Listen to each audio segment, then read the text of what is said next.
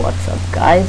Today I'm gonna show you how to crack the app MK software. So you have to download the AppMK all products activator from Pirate Bay or some kind of pirate software website. So we have the app MK ABAM that's the bookmaker and the magazine maker. So when the download is completed you have to install them both and run the cracker.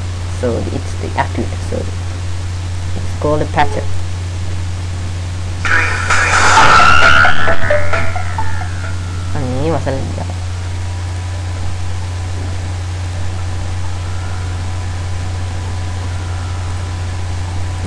the product that you want to install.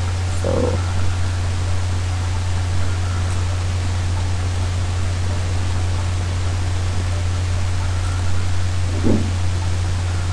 when it says okay you have the access to it so directly go for the magazine app maker and when you go to the application it will open in some time or you have no request of the buying of the program so you can easily create apps for this one. So save magazine as and you can export this magazine. So that's how to do this.